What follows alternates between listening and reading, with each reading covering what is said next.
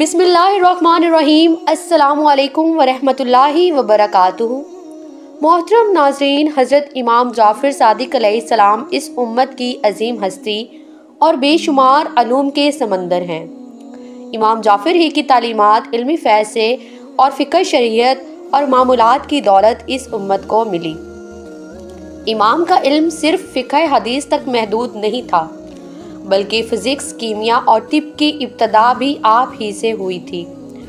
जाफ़िर सादिक सिर्फ़ इमाम अरब ही नहीं है, बल्कि मगरबी दुनिया, पूरी यूरोपीय ममालिक में भी आपके इल्म को तस्लीम किया गया है।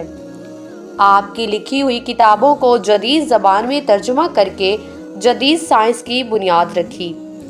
इमाम जाफ़िर भी मोहम्मद रबी अव्वल अस्सी हजरी में मदीना मुनवरा में पैदा हुए। आपके वालिद मोहम्मद बाकिर और दादा इमाम सज्जाद सलाम इबादत गुजारों के इमाम थे। और नबी सल्लल्लाहु अलैहि वसल्लम के नवासे हज़रत इमाम हुसैन सलाम की औलाद थे। बारह बरस आपने इमाम सज्जाद के जेर साया परवरिश पाई। इस वक्त वाक़ करबला को सिर्फ़ बारह साल गुजरे थे, जब इमाम जाफ़िर की पैदाइश हुई। मदीना मुनवरा और ख़ानदान रसूल में दिन रात इमाम हुसैन की शहादत का तस्करा और इस गम में गिरियोजारी की आवाज़ें सुनाई देती थीं। चुनाचा इमाम जाफ़िर ने भी इमाम हुसैन सलाम की याद ताज़ा रखने की कोशिश की। जब आप जवान हुए तो इस वक्त दमिश्क में अमवी बादशाह हिशाम बिन अब्दुल मुल्क की हकूमत थी। इल्म और हमत आप को विरासत में मिली थी। आप आले मोहम्मद के चश्मो चराग थे। तमाम आलम इस्लाम में आपकी इल्मी जलालत का शहरा था। यहाँ तक कि आपके शागिर्दों की तादाद चार हज़ार तक पहुँच चुकी थी, जिनमें फ़िक्र के उल्मा तफसीर के मुतवक्लिन और काजी भी शामिल थे। आपके दरबार में यहूद और इंसार भी आया करते थे। सवाल ये पैदा होता है कि इमाम जाफ़िर को इतने सारे अलूम में दस्तरस कैसे हासिल था? दरअसल, इमाम ने किसी भी मदरसे में तालीम हासिल नहीं की और ना ही किसी उस्ताद से इल्म सीखा, बल्कि आपका इल्म नस्ल दर नस्ल सीना व सीना मुंतकिल होता रहा, जिससे ये साबित होता है कि आम ने जिस इल्म की रोशनी दुनिया के सामने बिखेरी, वो दरअसल मुहम्मदी इल्म था। आपके दरबार में इस्लामी अलूम के अलावा रियाजी, फल्कियात, फ़िज़िक्स और कीमिया जैसे अलूम का ज़िक्र हुआ करता। इमाम इस कायनात के राजों से पर्दा उठाते और जहालत और अंधेरों से निकालने में कोशा रहते।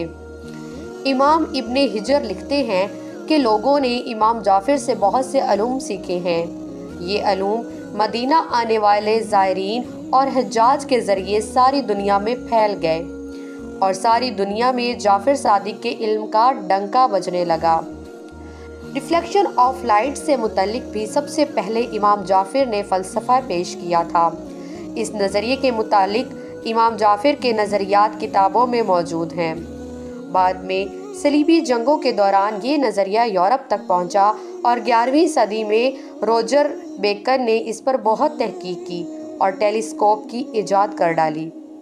इमाम ने हिशामुल खजाफ से मनाजर के दौरान ये फरमाया कि ज़मीन गोल है, जो अपने गिर्द चक्कर लगाती है और दिन रात इस हरकत के सबब होते हैं, ना कि सूरज के। इब्ने मुसविया बिन हक्काम बहुत सारे मशहूर तबीब ने तिब पर अलूम हासिल करके इंसाइक्लोपीडिया तैयार किया। शवाल 148 हिजरी को मंसूर अब्बासी खलीफा के दौर में जब मलूकियत हर तरफ़ जुल्म बरबरीत मचा रही थी और कलमा हक कहना मुश्किल हो गया था। इस फितना के दौर में इमाम जाफिर ने बातिल के आगे सर झुकाने से इनकार कर दिया, जिसके नतीजे में आपको शहीद कर दिया गया। आज आपकी कब्र मुबारक अल बकी कब्रिस्तान में सैदा फातिमा और इमाम हसन जैनुलाबद्दीन और इमाम बाकिर के पहलू में वाक़ है।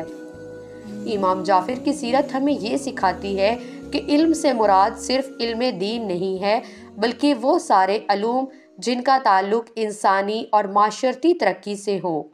फिज़िक्स, कीमिया, बायोलॉजी या रियाजी हो, इल्म के ही अहाते में आता है, जिसकी इब्तदा आल मोहम्मद से हुई थी, और इस इल्म का हासिल करना हर मुसलमान पर फ़र्ज़ है।